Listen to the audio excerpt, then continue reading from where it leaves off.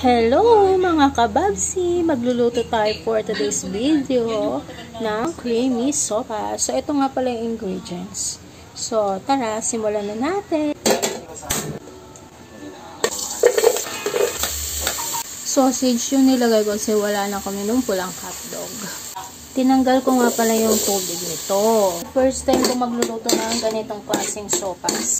Mano-mano yung ginawa ko kasi hindi ako nakabili nung nasa can na talaga na magkakasama. Nawasa. Sineparate natin siya, hindi natin siya basta-basta nilagay doon kasi para hindi siya buo-buo. Tapos halo-halo lang natin. Tingnan natin yung macaroni. Nawasa. Wala tayong chicken na ilalagay kaya normal. Lagyan natin siya ng asin. Yan.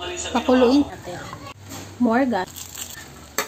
Uy, tumikim ako. Grabe yan, sarap. Ito na siya, maalamitan. Oh, sarap. Kung di ka pa nakatikim ng ganyan, must try it. Ah, sarap talaga.